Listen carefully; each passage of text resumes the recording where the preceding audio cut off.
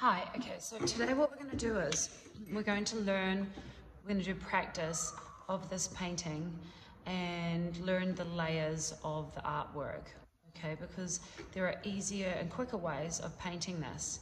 So rather than going and doing all our outlines first, we're going to paint the background yellow, that's the first layer, and then we're going to trace or draw the letters on top and then we'll draw, we'll paint the red parts, and we do the outline, the black, all the black parts last with a very small brush. So first of all, what we want to do is put out some yellow paint for the background. Okay, so yellow paint is quite see-through. It's quite transparent because it's a light color. So we're just going to put on one thin coat of paint. Don't paint it on thickly. We want it to be nice and smooth. So one thin layer of paint on.